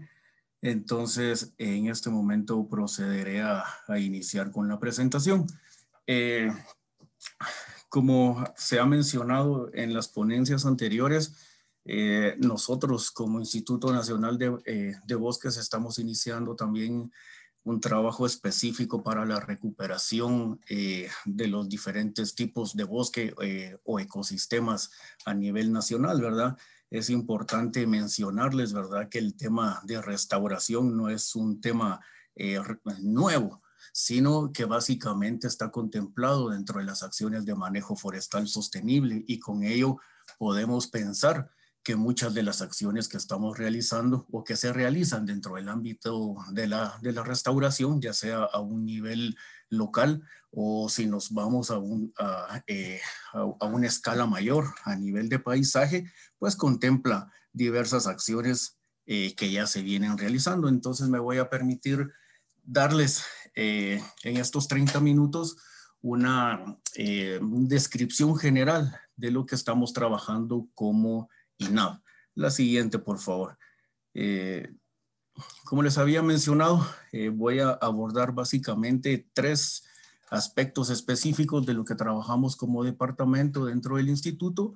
Y la primera es para poderles eh, hacer, en ponerlos en contexto en cuanto al marco general de degradación, de restauración del paisaje y poderlo vincular específicamente con algunas herramientas y mecanismos nacionales que estamos implementando para poder lograr acciones en materia de restauración.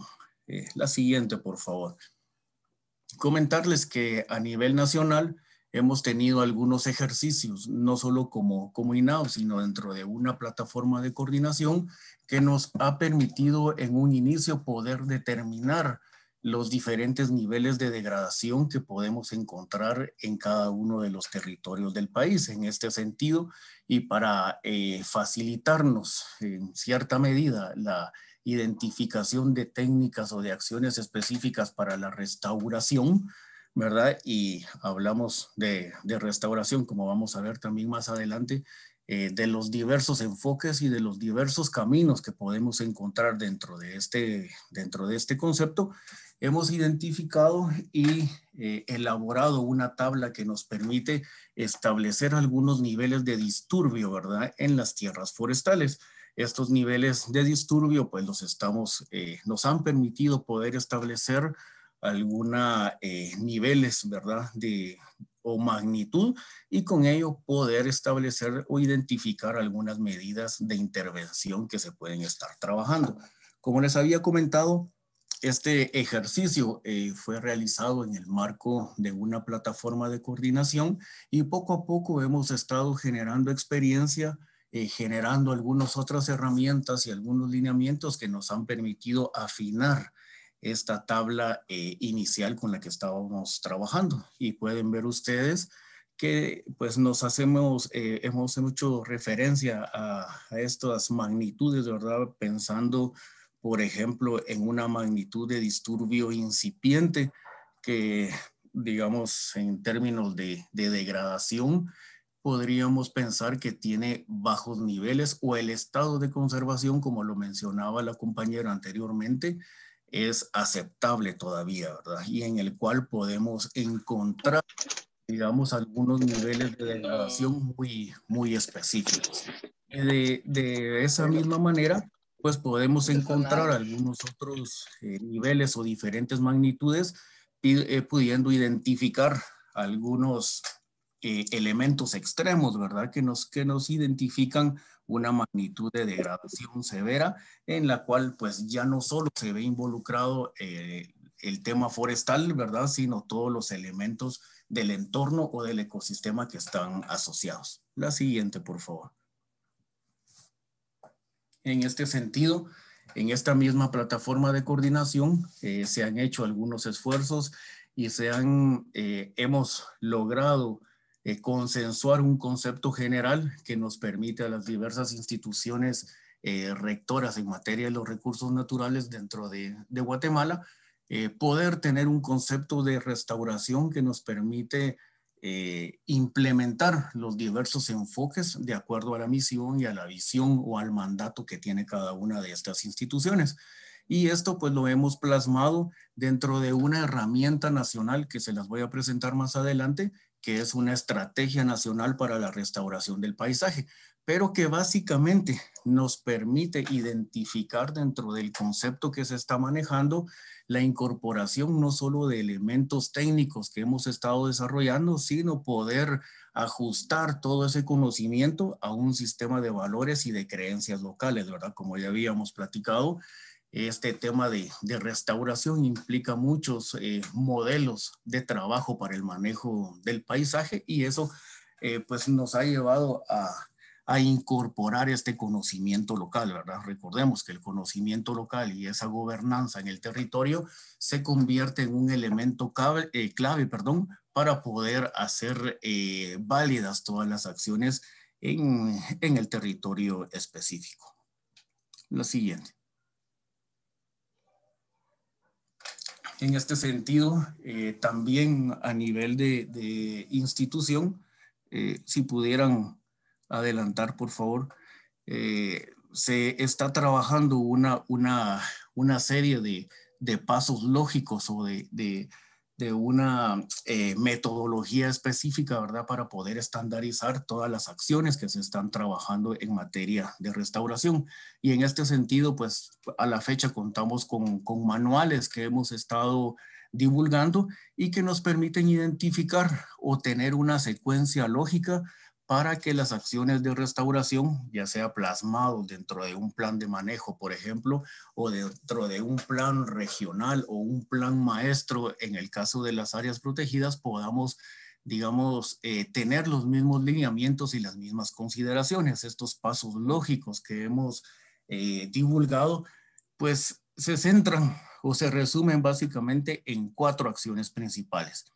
La primera, pues obviamente es la realización de una visita al, al, área de interés o al territorio que nos permita identificar el estado actual, ¿verdad? Que nos permita identificar qué acciones se están desarrollando, que obviamente está vinculado al diagnóstico en el, en el territorio. Identificar qué especies son eh, las presentes, ¿verdad? Si hay degradación del suelo, por ejemplo, en el caso del ecosistema manglar, si hay una degradación del, del, del cuerpo de agua, ¿verdad? Que es, digamos, determinante para el desarrollo de estas especies. Todo este diagnóstico pues nos va a permitir poder hacer un diseño del plan de restauración, eh, identificando ahí las acciones, las técnicas, las especies a utilizar, algunas otras estrategias sociales, ¿verdad? Como hablábamos en el tema de gobernanza.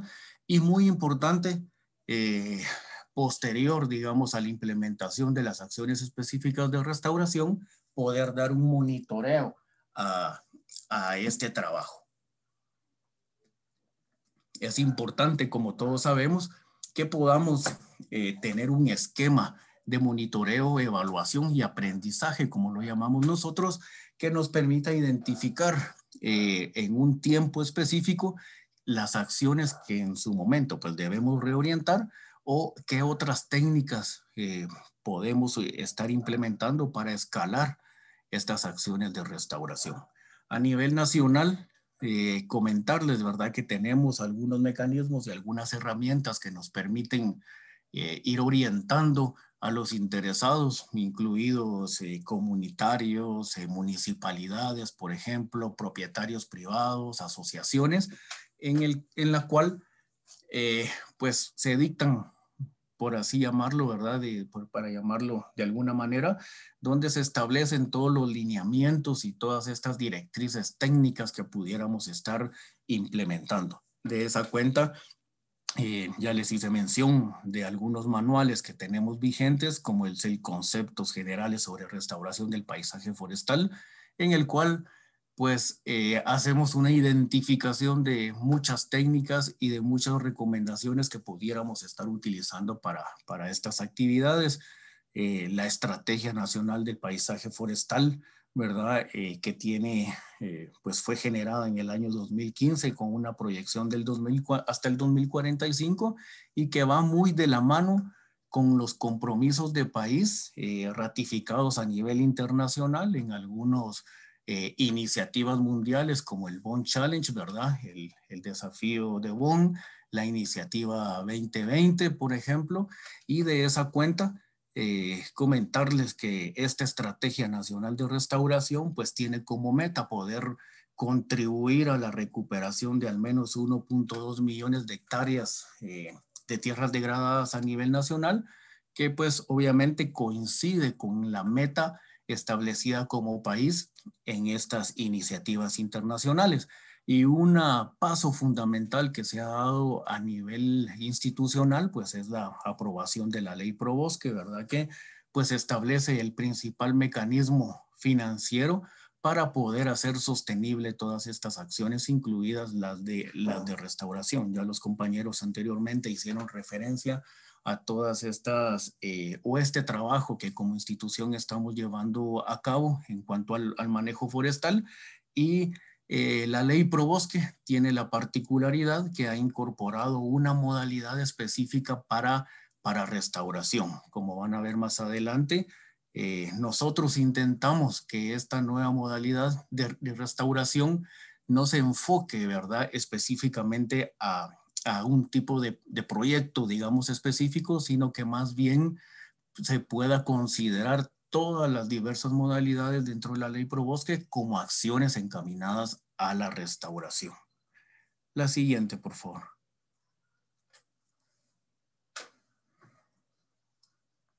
Eh, una más, por favor. Dentro del esquema que nosotros estamos utilizando para poder trabajar a nivel nacional, es hacer referencia a que el tema de restauración no es eh, algo específico, digamos, que podamos pensar que debemos enfocar específicamente el trabajo en la parte forestal, sino que la unidad básica de la restauración es el paisaje.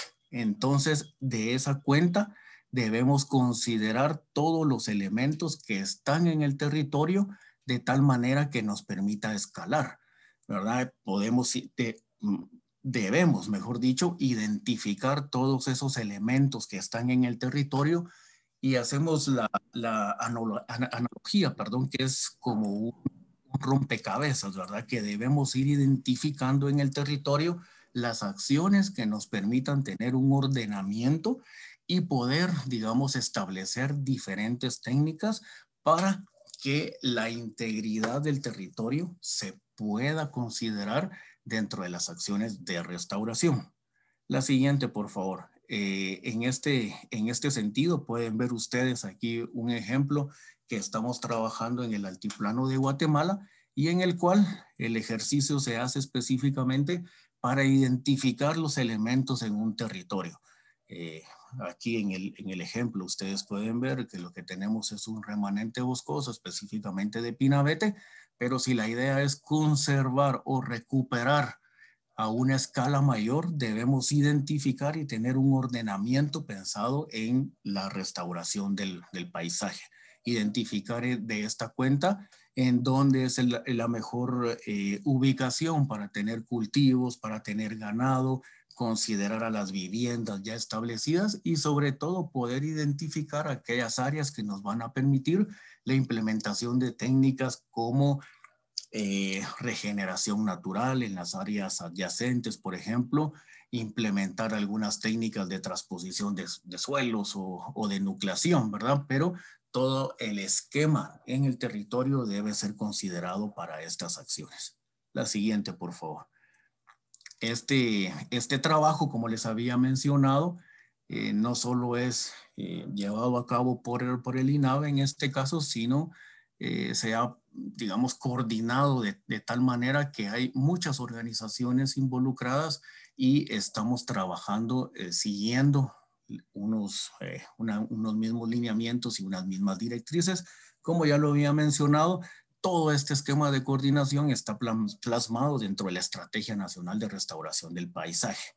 La siguiente, por favor. Y estas líneas de trabajo a las cuales estoy refiriendo, pues las hemos eh, querido evidenciar dentro de esta herramienta nacional en la cual pues hacemos eh, la salvedad, ¿verdad? De que hay tres ejes, eh, seis ejes, perdón, principales que debemos abordar en toda iniciativa de restauración y están vinculadas a que las acciones de restauración que logremos implementar puedan contribuir al desarrollo económico, ¿verdad?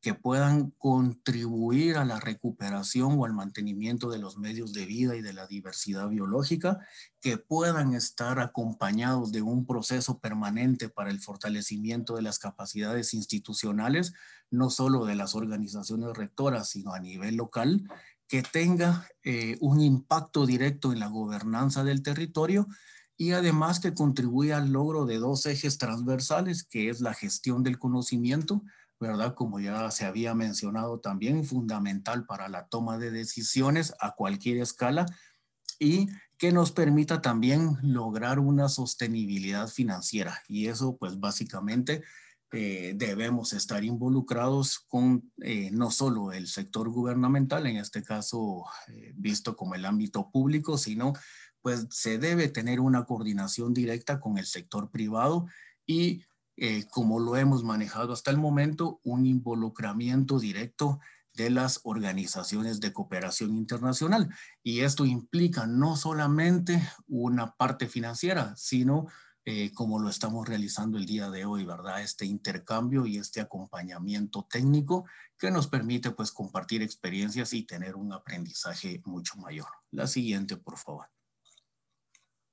Eh, rápidamente. Esta estrategia pues se ve implementada y coordinada por la Mesa Nacional de Restauración Forestal, liderada por el, por INAV, y eh, digamos quien tiene la Secretaría Técnica, pero que básicamente lo que pretende es poder articular todas las acciones de restauración y en esa línea de trabajo, pues todas las gestiones que se han desarrollado a nivel internacional y toda la gestión interna para la implementación específica de algunos elementos de, restauración, pues la idea es que nos podamos coordinar, eh, tener esfuerzos conjuntos, ¿verdad? Y ello nos ha permitido a la fecha, pues tener presencia en esta temática prácticamente en todos los departamentos de nuestro país. La siguiente, por favor. Algo importante de esta coordinación y es de los mayores logros que se ha tenido eh, a través de esta coordinación y es básicamente eh, que nos ha permitido cuestionarnos, bueno, tenemos las herramientas, tenemos las directrices, tenemos la voluntad, ¿en dónde restauramos? Entonces, eh, se hizo un ejercicio también con muchas organizaciones para poder identificar las áreas potenciales para la restauración en, Guatemala. La siguiente, por favor, es de, esa cuenta, pues se identificaron ocho categorías de trabajo en las cuales deberíamos enfocarnos a, a poder trabajar y si se dan cuenta, casi el 50% de las áreas identificadas, identificadas eh, para restauración, pues tienen presencia eh, o tienen un manejo local. Es decir, que en la mayor parte del territorio donde es urgente implementar acciones, hay agroforestería, por ejemplo, con cultivos permanentes, con cultivos anuales, eh, son tierras forestales para la producción y sistemas silvopastoriles. Este ejercicio lo que hace es eh, un llamado, ¿verdad? Para que nos podamos coordinar y que podamos involucrar a la gente local en las acciones de restauración. Como si recordamos rápidamente, habíamos hablado que las acciones de restauración deberían contribuir a un desarrollo económico y eso pues lo estamos logrando o lo estamos intentando implementar de tal manera que la restauración se vea como un plus en el manejo del territorio que básicamente nos va a permitir tener una recuperación mayor, ¿verdad? Al momento de implementar acciones específicas.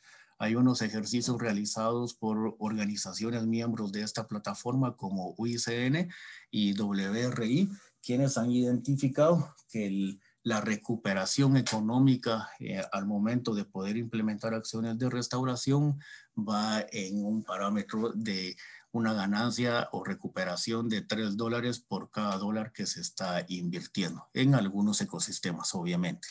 La siguiente, por favor.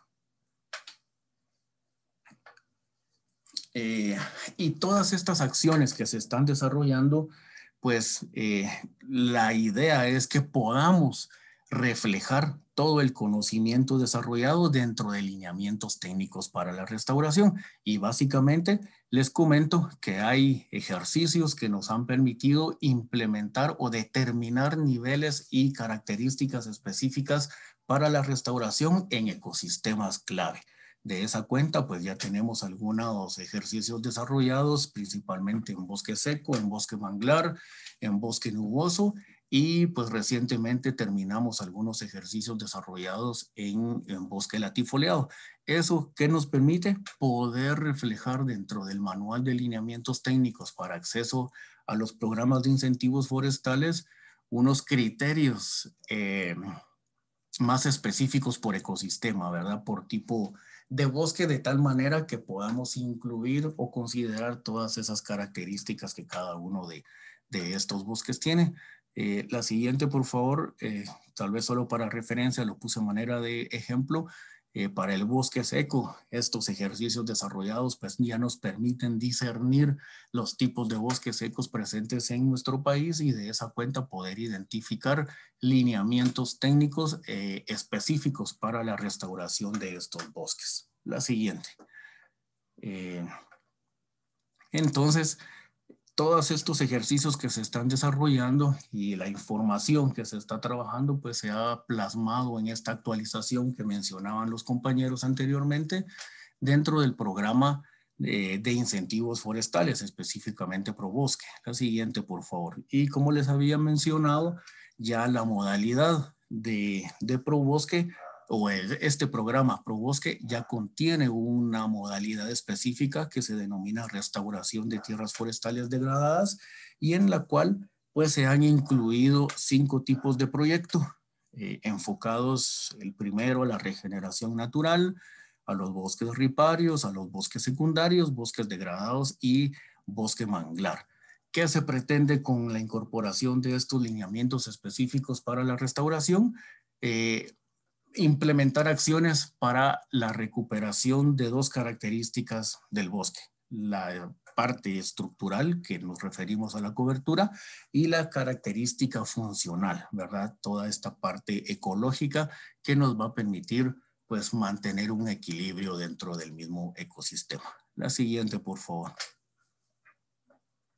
Rápidamente, pues, eh, lo que les comentaba que toda la experiencia o todo el conocimiento que se ha desarrollado, pues nos permite evidenciar ya dentro de este manual algunos elementos eh, clave que ya comienzan a, evidenciar la incorporación de elementos ecológicos, ¿verdad? Y a esto nos, nos referimos a que hay guías técnicas por ecosistema, ya la utilización de especies no arbóreas para los procesos de restauración. Recordemos que muchas de, de las plantas eh, que queremos recuperar necesitan de una especie nodriza, por ejemplo, y a todo eso sí se está considerando como una técnica que nos va a permitir eh, pues dar vida a los procesos eh, de restauración. Anteriormente la única técnica aceptada para cualquier proceso de restauración era la plantación, ¿verdad? Porque se estaba manejando anteriormente. Ahora pues ya utilizamos la plantación, pero como una técnica más para los procesos de restauración, obviamente, y hablando específico de la, de la plantación forestal, en ningún momento la idea es que posterior al, al, al, incentivo forestal se logre o se permita un aprovechamiento total, pues no, no estaríamos, digamos, cumpliendo la, el, objetivo final de la, restauración, entonces tiene sus consideraciones específicas y ya incluimos otras técnicas como enriquecimiento, completación, manejo de la eh, regeneración, perdón, y otras específicas eh, para restauración ecológica. Y como les había mencionado, hay una posibilidad de poder tener un aprovechamiento posterior Ah, en el área donde se haya incentivado con fines de restauración. Sin embargo, hay lineamientos técnicos que no van a permitir un aprovechamiento total. La siguiente, por favor. Los elementos que se evalúan para poder accesar a los diferentes programas de incentivos forestales para el caso de, de restauración es, digamos, la evaluación o determinación de la degradación de dos componentes principales. Uno es el suelo, y el otro es eh, la vegetación. La siguiente, por favor. Hay una vinculación directa aquí en el análisis de la degradación del suelo, en que si se identifica una degradación severa o una degradación extrema, hay una obligatoriedad de poder implementar o de tener que implementar, mejor dicho, acciones de conservación y estabilización de suelos como el primer paso para eh, la restauración. Y en cuanto a la, al tema de la, de la vegetación, pues se... Se bañó para más específicos de, las, de, la, de otras modalidades, eh, como lo mencionaba Anaite anteriormente, nos permitió pues ampliar algunos rangos, sobre todo del área basal, como elemento clave para eh, incorporar proyectos de restauración. Entonces ahora ya lo tenemos eh, específicamente, ¿verdad? Por, por tipo de bosque.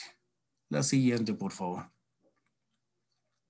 Y pues para ir terminando, solo mencionar algunas de las principales incorporaciones que se han realizado dentro de cada uno de los tipos de, de proyecto de, en esta modalidad y para regeneración natural, pues ya se logró incorporar que no eh, pueden existir árboles semilleros, por ejemplo, pero si hay un proceso ya de sucesión vegetal establecido, eso ya se considera como parte del proceso de, de, restauración en el, en el área, ¿verdad? Y se han hecho algunas modificaciones a las densidades establecidas para cada uno. Para los bosques riparios hay una descripción ahora por niveles de degradación que ya nos permite identificar elementos específicos de, los tipos de bosque que se vayan, eh, que se hayan identificado para su incorporación dentro de este programa. La siguiente, por favor. De la misma manera, eh, tanto para bosques secundarios para, como para bosques degradados, pues hay una diferenciación ahora dentro de las áreas basales principalmente y pues hay un proceso ahí que nos permite orientar las técnicas específicas de restauración de la misma manera en el bosque manglar. Eh, la siguiente, por favor. Y todo este, eh, sigamos, por favor. Esto va de la, de, la, de, la mano con la evaluación. Y para terminar, comentarles que pues ya hay unas propuestas específicas para poder eh, sugerir algunas especies, principalmente nativas, y que se pueden utilizar como especies potenciales para proyectos de restauración. Esto lo estamos trabajando.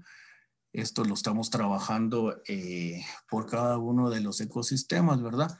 Y pues hay algunos eh, ejercicios específicos, ¿verdad? Para poder eh, identificar todas estas especies. ¿Qué nos hace falta en todo este ejercicio que se está trabajando? La siguiente, por favor. Es, y que se va, que, que le vamos a, a dar vida eh, justo este año es con el Departamento de Protección Forestal del INAV poder hacer algunos ejercicios en las áreas en las cuales han habido algunos siniestros específicamente debidos a, incendios forestales. Eh, con el apoyo del Servicio Forestal de Estados Unidos, pues se van a comenzar a trabajar todos estos temas, ¿verdad?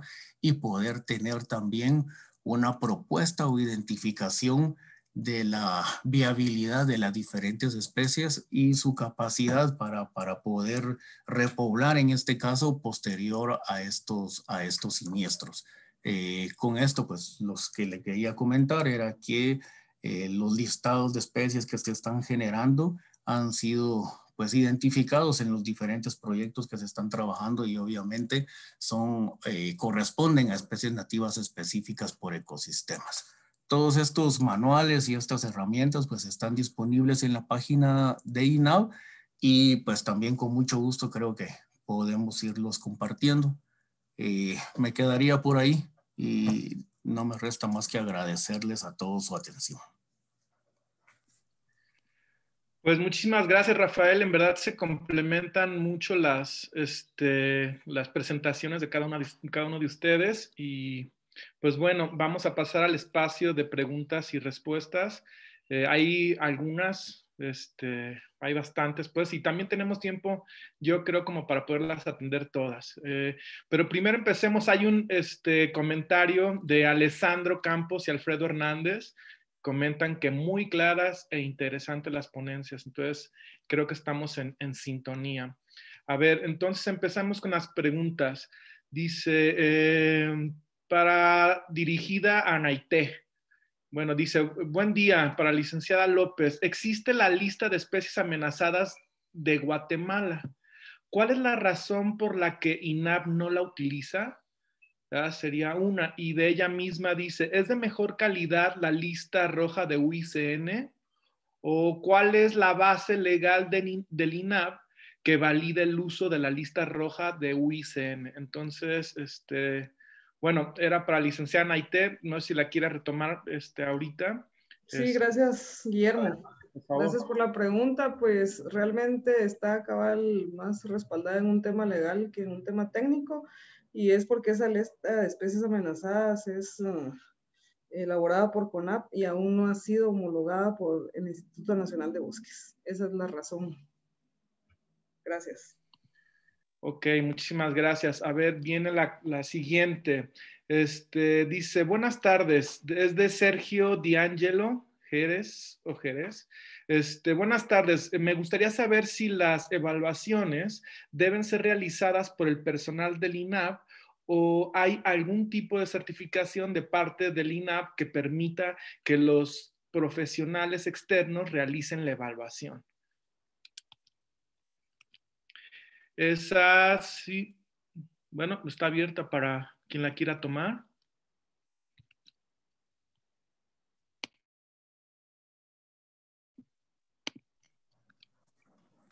¿Podrías repetir, Guillermo? Disculpa. Claro que sí, con todo gusto. Dice, un, un poco.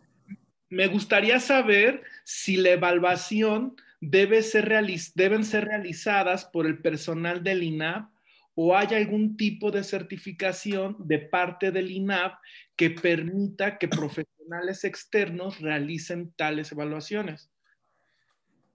Gracias, Guillermo. Si es para el caso de proyectos dentro de incentivos forestales, es específicamente el personal y técnicos de INAV quienes deben realizar estas evaluaciones y estas certificaciones.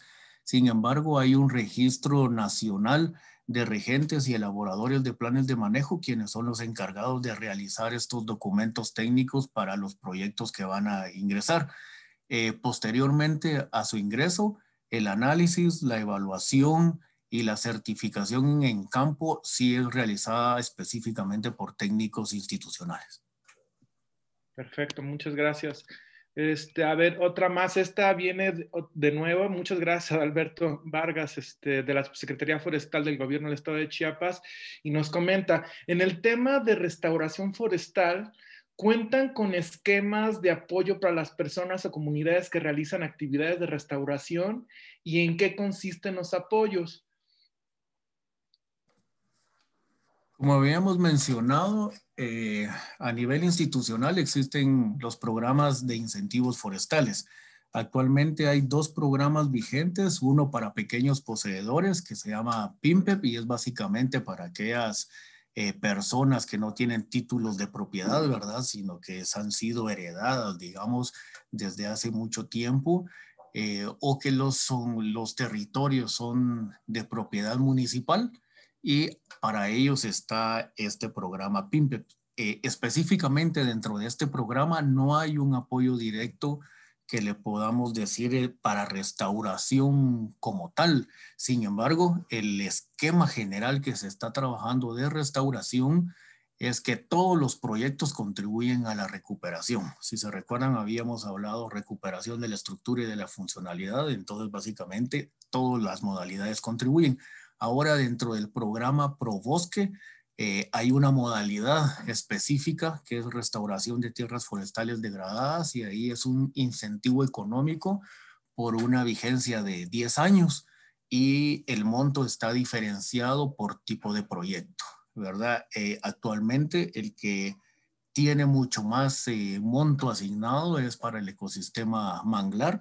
Sabemos, ¿verdad?, que para la recuperación de este tipo de ecosistema, pues ya no debemos considerar eh, solo suelo y vegetación como se los presenté, sino aquí ya entra eh, otros elementos como salinidad, fluctuación hídrica, pH, etcétera, ¿verdad? Entonces el costo eh, de la restauración es mucho mayor, por eso el monto que se da es un poco más alto que al resto de, de proyectos, pero todos tienen básicamente una duración de, de 10 años. Y en el marco de la coordinación de la Mesa Nacional de Restauración, pues hay muchas iniciativas que se han logrado gestionar por otras organizaciones y en ellos se, se da un apoyo específico para la elaboración de los planes de manejo que tiene un costo elevado, ¿verdad? Pero es eh, sufragado por estas iniciativas y posteriormente al estar dentro de incentivos ya tiene esa sostenibilidad económica por un periodo de, de 10 años. Excelente, Rafael. Muchísimas gracias. De todas maneras, le queremos comentar a Alberto que en la próxima sesión este, se va a abordar de manera muy, muy específica la parte de incentivos forestales, que es un tema que también nos interesa muchísimo acá este, en Chiapas, en México. Entonces, para que nos pueda seguir también. Vienen otras dos preguntas, una para Jorge, desde el Zoom, de Paula Martínez, y nos comenta, ¿cómo ha funcionado la aplicación del aprovechamiento de árboles fuera de bosques? Bien, buenas tardes. Sí, justamente había visto la, la, respuesta, me la compartió un compañero y creo que ya le había dado respuesta a la compañera, pero en esencia, pues los árboles fuera de bosque, como, como ya lo indicaba, pues ya no, no tienen esa constitución de bosque, sino se constituyen como árboles aislados. Y en este caso, pues eh, tenemos ese tipo de licencias, como, como ya lo mencionaba anteriormente.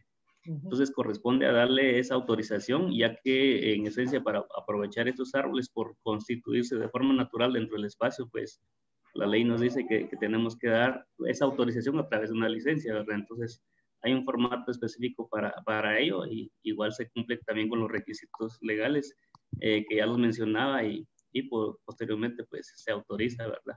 Entonces, eh, ¿de qué forma nosotros evaluamos estos, eh, estos árboles que están como fuera de bosque? Pues es en función al indicador del área basal. Y el otro indicador es su distribución, en este caso horizontal, ¿verdad? Que es una categorización de, de las clases diamétricas en el espacio que estamos evaluando. Muy bien, Jorge, muchas gracias. Este, bien, hay otra pregunta más de Ever Valiente de Guatemala y nos dice, en la restauración no debemos perder de vista la parte de producción, que es la que nos va a permitir mantener estos bosques restaurados. Recomendemos que si los propietarios no coinciden beneficios económicos del bosque, no estarán interesados en mantenerlos. Bueno, es más que nada un comentario. No sé si alguien quiera complementar algo con, con este comentario. Pues definitivamente, pues agradecer esos comentarios y eh, es uno de los, de los pilares para hacer viables los procesos de restauración, ¿verdad? Tener eh, digamos, el compromiso eh, de los propietarios en este caso, ¿verdad? Y que puedan ver el beneficio adicional que puede tener este proceso de restauración. Uno de los pilares eh, establecidos dentro de la estrategia, pues se enfoca básicamente a esa participación integral del propietario o del comunitario desde el inicio del proceso, ¿verdad? Así que creo que estamos ahí en la, en la misma línea del, del, del, comentario y definitivamente pues hay que implementarlo, que es lo principal. Muchas gracias, Rafael. A ver, acá hay otras más, creo que es del Zoom. Eh, ¿tienen, considerada, tienen, ¿Tienen considerada la generación de información del comportamiento y respuesta de las diferentes especies en distintos arreglos y mediante diferentes técnicas? Esa, sí. ¿Mm?